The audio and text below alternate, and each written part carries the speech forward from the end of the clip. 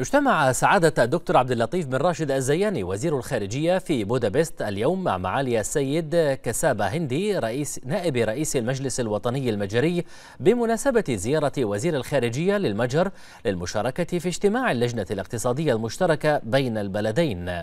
وجرى خلال الاجتماع بحث علاقات الصداقة المتميزة القائمة بين مملكة البحرين والمجر الصديقة وسبل تطوير مستوى التعاون الثنائي إلى آفاق أوسع بما يلبي التطلعات والمصالح المشتركة في إطار الجهد الذي تقوم به اللجنة الاقتصادية المشتركة لتدارس فرص تنمية التعاون الثنائي في العديد من المجالات ذات الاهتمام المشترك بما فيها المجالات الاقتصادية والتجارية والتعاون البرلماني وتنسيق المواقف وتبادل الدعم في المحافل الدولية.